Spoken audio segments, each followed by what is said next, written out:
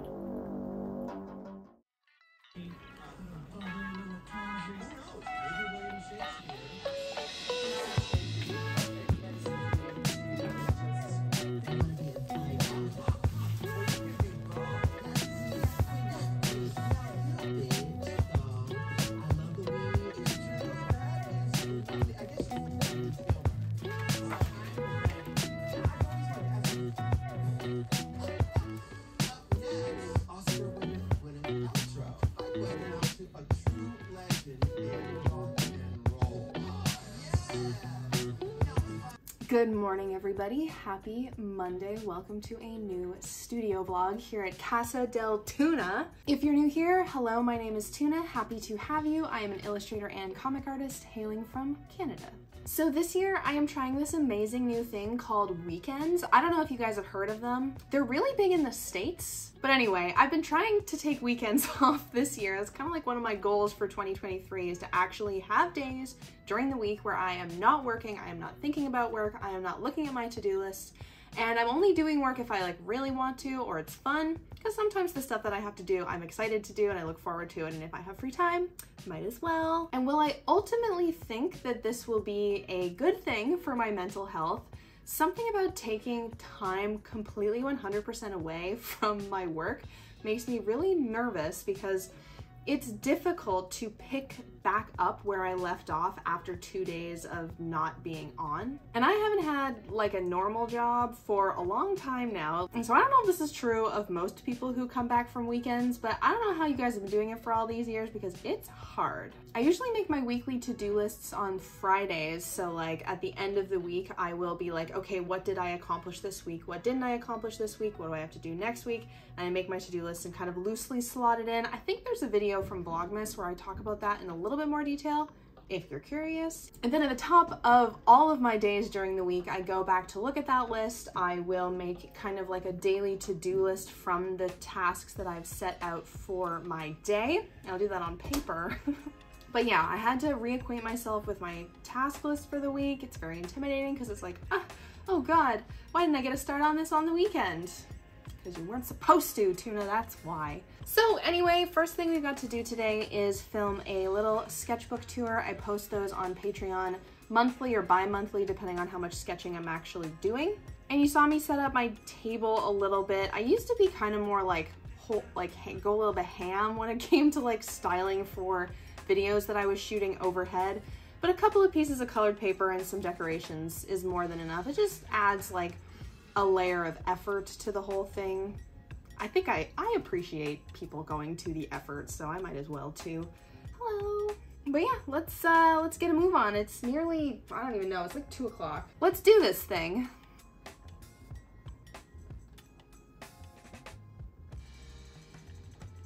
uh, the sketch for the nori painting I did, and then just, I won't even get into that. All right, so on this page, uh, lots of fun stuff.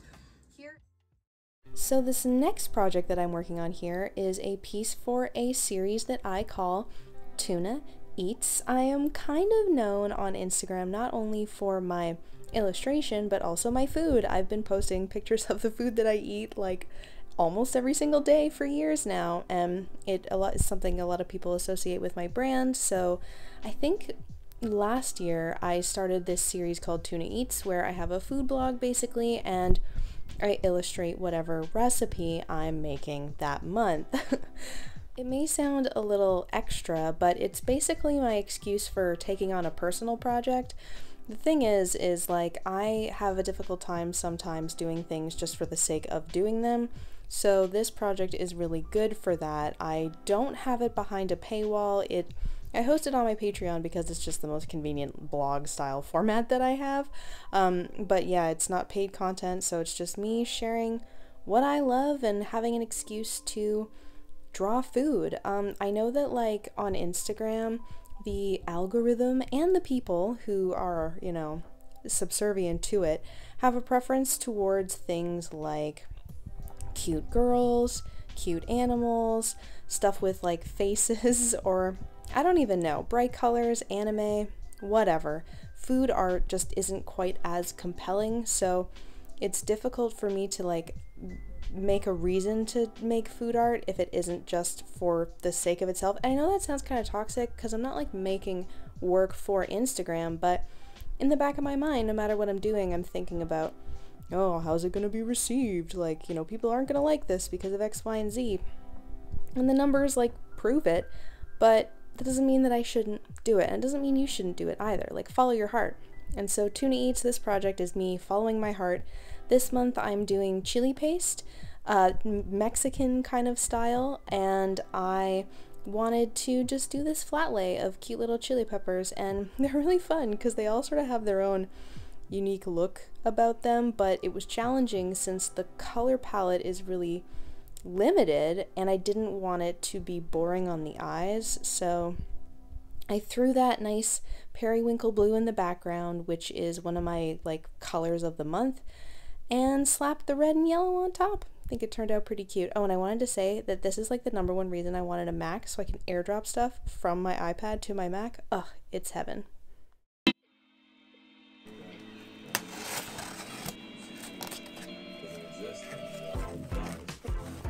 In non-surgical and surgical procedures have brought prices down to a cost accessible With driven by actually non-surgical procedures, so and as the Chinese government looks to crack down on the cosmetic surgery industry, the days...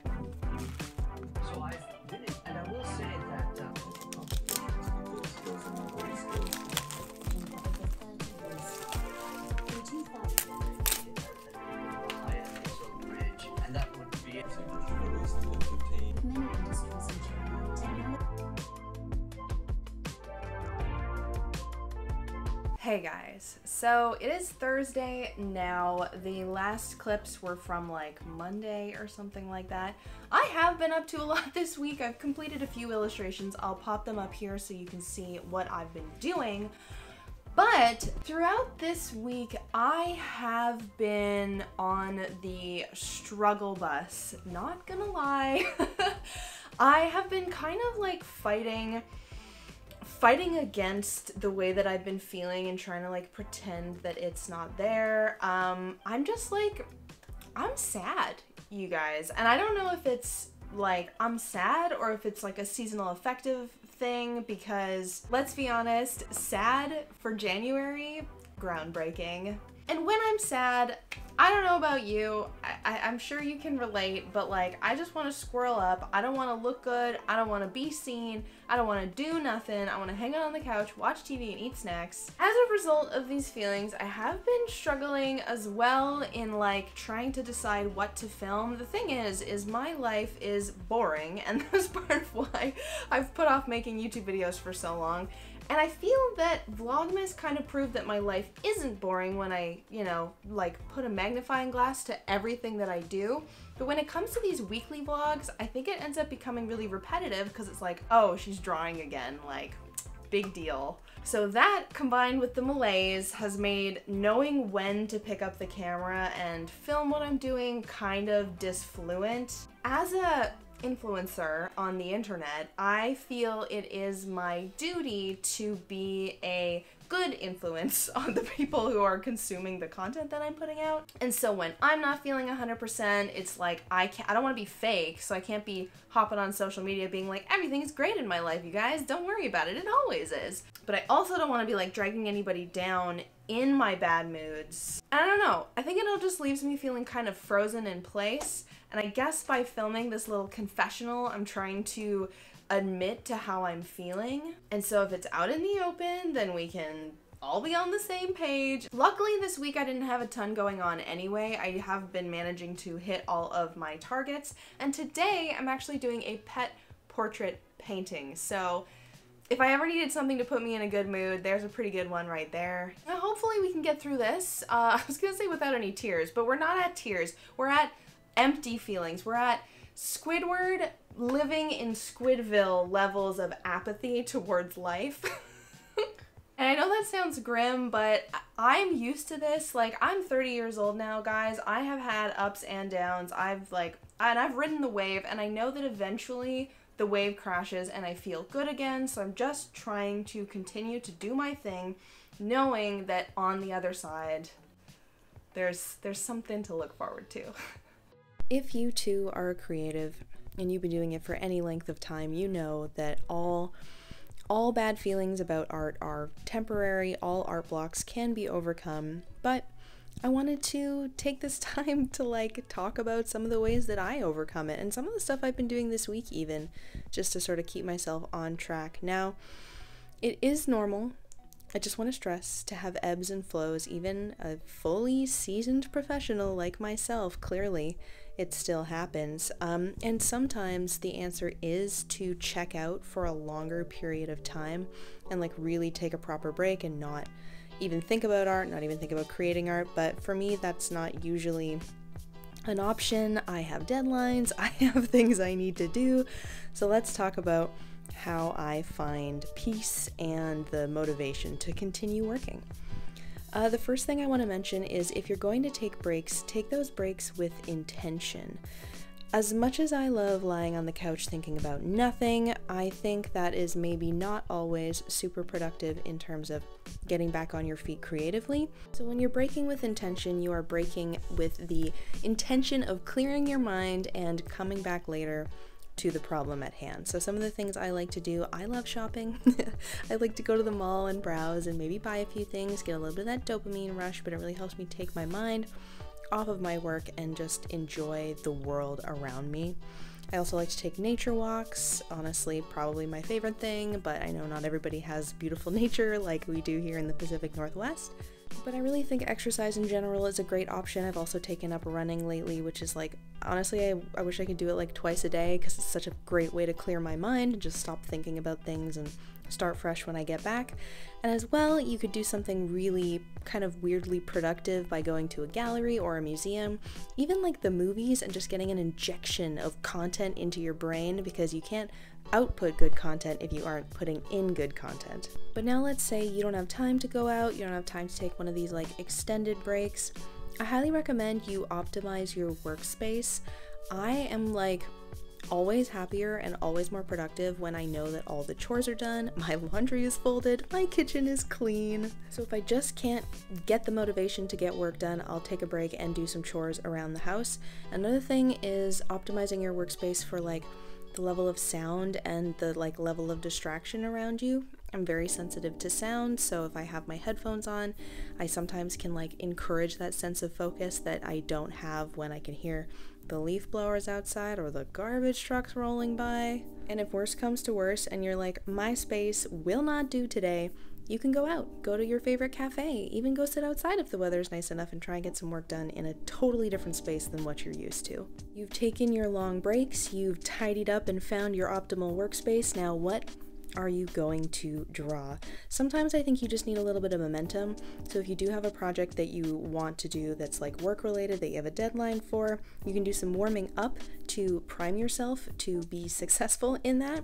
And I have a few ideas for that. If you're feeling uninspired, I recommend you do something like a draw this in your style challenge because then it takes the inspiration, the actual ideation out of the process and you can just focus on the technique and getting your getting your fingers moving and a dancing on the page. If you're feeling rusty and your work just doesn't look the way that you want it to, do something like a study, uh, do some life drawing, like put your hand in some funny poses and sketch that because then you're just focusing on ob- observational illustration. You're not worrying about like whether or not you're doing it well. You're just kind of like doing it for the sake of doing it. The practice itself is the, you know, the process. If you're bored of what it is that you actually have to draw, this is me like a lot of the time when I'm doing something for work. Uh, procrastinate by doing something fun. I did this this week by redrawing an old uh, illustration from like, should I call it an illustration? A doodle from a sketchbook from 15 or 17 years ago. I redrew it. It was really fun. It was invigorating. It gave me some content to post and it kind of got the, the cogs turning so I was able to do work after the fact. And lastly, if you're just feeling distracted and like you can't sit down and focus on anything for a length of time, literally set a timer and free draw. So set your timer for like 10 minutes, open up a sketchbook page, and just draw for that 10 minutes. Don't stop, don't even think about it. If all you end up drawing is like a bunch of anime eyes, like no problem, that's fine. Because all that matters is now you're warmed up. And now that you're warmed up, if you're still struggling, you can try that timer strategy by doing like the Pomodoro system or simply starting a timer. Uh, Mark always says, like, when I'm feeling like I want to procrastinate or I don't want to start something, he's like, "Why don't you just do it for 20 minutes? Just do it for 20 minutes." And I know that the trick is is once you start and that 20 minutes is up, you'll have found your stride, you'll be able to keep working and moving along. And so, you just want to find these little hacks. Hack your brain, you know, and then you'll be able to get shit done. I really don't think art block ever needs to be an excuse not to create because you are a cr- creature with a brain. You just need to use that brain to trick your brain into doing the things that you want it to do. It's that simple. That's gonna be it for me today here on the vlog, but keep watching because I'm going to an art gallery thing tonight and I think it'll be cool. Hopefully I'll grab some shots and take you with me here. But thank you so much for being here for another vlog. Thank you so much for liking, subscribing, and leave me a comment down below. Let me know what your art block remedy tips are when you are just not feeling the vibe. How do you get over that? I'll be back next Sunday with more delicious content for you all, and for now, enjoy the gallery with me.